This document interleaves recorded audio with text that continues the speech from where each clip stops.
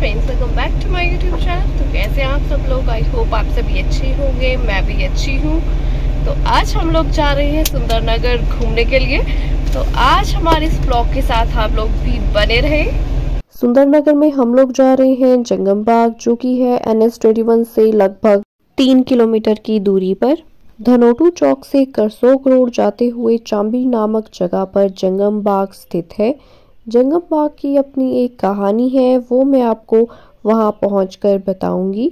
अगर आप मेरी वीडियो को पहली बार देख रहे हैं तो मेरे इस चैनल को सब्सक्राइब कर लें और वीडियो को लाइक करना ना भूलें।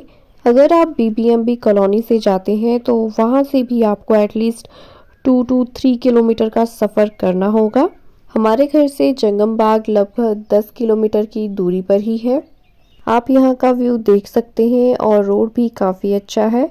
ये है हमारा महादेव का एरिया। थोड़ी ही देर में हम पहुँच जाएँगे जंगम बाग। जंगम बाग एक बहुत ही ब्यूटीफुल प्लेस है। हम आपको इस वीडियो में जंगम बाग के बारे में पूरी जानकारी देंगे।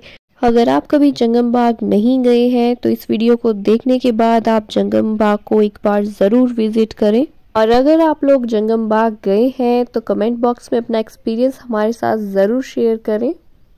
थोड़ा सा आगे जाने पर यहाँ से एक टर्न आएगा और हमें यहाँ से लेना है राइट टर्न जो ऊपर जा रहा है रोड वो जाता है चांबी की तरफ़ और यहाँ से आपको राइट टर्न करना है और यहाँ से राइट टर्न लेने के बाद थोड़ा सा आगे जाने पर हम पहुँच जाएँगे अपनी डेस्टिनेशन जंगम बाग।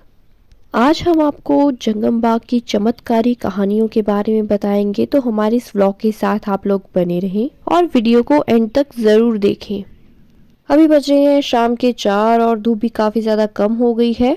और इस पुल को क्रॉस करके यहाँ से आ जाते हैं दो टर्न, एक राइट और एक लेफ़्ट जो राइट वाला टर्न है, वो जाता है बीबीएमबी कॉलोनी की तरफ़ और यहाँ से हमें लेना है लेफ़्ट टर्न जो कि जाता है राधा कृष्ण मंदिर, यानी हमारी डेस्टिनेशन जंगम बाग की तरफ़। और अब आप लोगों का वेट खत्म होने वाला है, क्योंकि अब हम लोग पहुँचने वाले हैं जंगम बाग लेफ़्ट टर्न लेते ही सामने आपको दिखाई देगा कि बड़ा सा गेट है। यही हमारी डेस्टिनेशन है जंगम बाग अब हम पहुँच गए हैं जंगम बाग ये जंगम बाग का मुख्य द्वार है और यहाँ से हम लोग जाएँगे अंदर।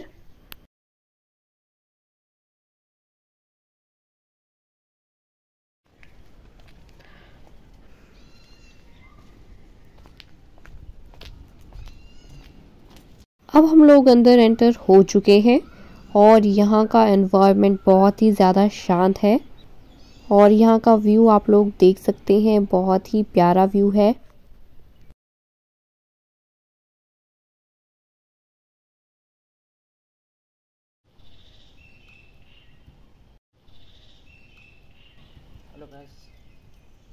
और यहाँ पर गेट के पास ही मंदिर का जो इतिहास है, वो भी लिखा गया है।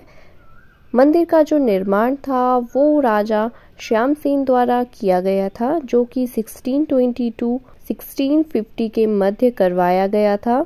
एक योगी थे जिन्होंने राजा को श्राप दिया था। श्राप से बचने के लिए उन्होंने इस मंदिर का निर्माण करवाया था।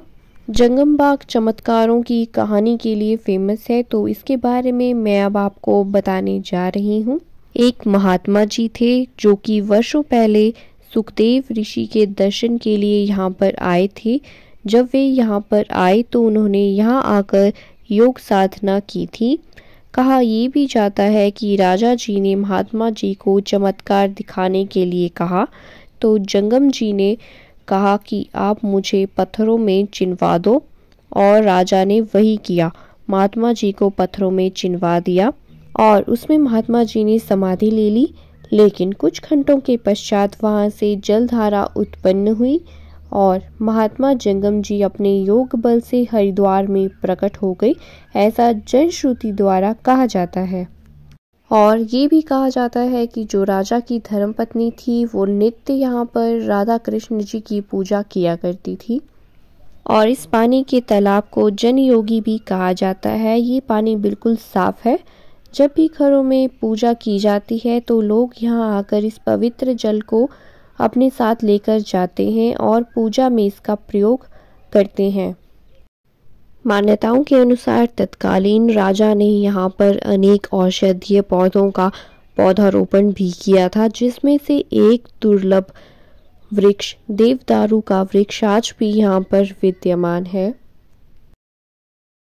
और यहाँ पर साफ़ सफ़ाई का विशेष ध्यान रखा जाता है। जैसा कि आप सब लोग देख सकते हैं कि यहाँ पर सफ़ाई कितनी ज़्यादा है और यहाँ पर पक्षियों का चहचहाना तो आप लोग सुन ही सकते हैं। यहाँ पर राधा कृष्ण जी के मंदिर के साथ ही सीढ़ियाँ चढ़ के एक और मंदिर है। तो चलिए आइए, अब मैं आपको वहाँ के दर्शन करवाती हूँ।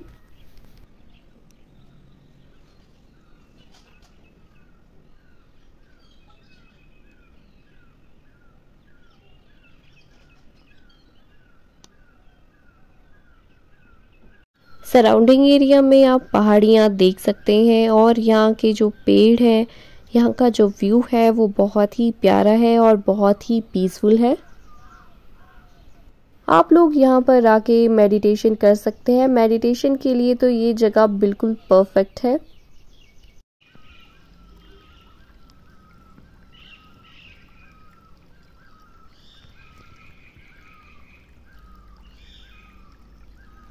अब आप लोग भी राधा कृष्ण जी की युगल जोड़ी के दर्शन कर सकते हैं। और ये देखिए, अब हम लोग आ गए हैं मंदिर के इस छोटे से पार्क में। ये वाला पार्क है मंदिर के बिल्कुल ही साथ। जैसे ही हम गेट से एंटर होते हैं, ये पार्क बिल्कुल सामने है। और यहाँ पर तरह तरह के फूल लगाए गए हैं तरह तरह के पेड़ लगाए गए हैं। और काफ़ी ज़्यादा सुंदर एनवायरनमेंट यहाँ का बनाया गया है। अगर कभी आपका मन करे इस दुनिया के शोर शराबे से दूर आने का तो ये जगह आपके लिए परफेक्ट रहेगी। यहाँ पर आने के बाद आपको सिर्फ़ और सिर्फ़ शांति और सुकून ही महसूस होगा।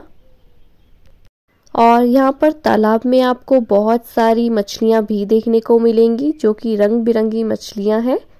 कुछ ऑरेंज कलर की हैं, कुछ ब्लैक कलर की हैं। यहाँ पर हम लोगों ने काफ़ी ज़्यादा टाइम स्पेंड कर लिया है और यहाँ पर आकर हमें बहुत ही अच्छा फील हुआ, बहुत ही रिलैक्स फील हुआ और अब हम लोग निकल जाएँगे घर के लिए। हमने आते टाइम यहाँ से लिया था लेफ़्ट टर्न अब हम लोग ले रहे हैं यहाँ से राइट टर्न जो कि रास्ता जाता है बीबीएमबी कॉलोनी की तरफ़ और यहाँ पर हमें दिखा हर्बल गार्डन तो हमने सोचा हम यहाँ पर आए हैं तो हर्बल गार्डन की तरफ़ भी चलते हैं। पर यहाँ का जो हर्बल गार्डन था, उसमें लॉक लगा हुआ था।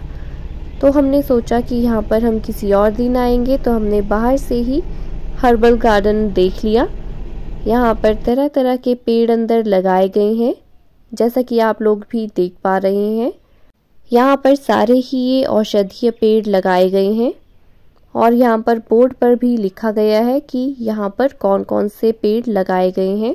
अब हम लोग यहाँ से निकल रहे हैं। हम पहुँच गए हैं बीबीएमबी कॉलोनी। अब यहाँ से हम लोग जाएँगे सीधा घर।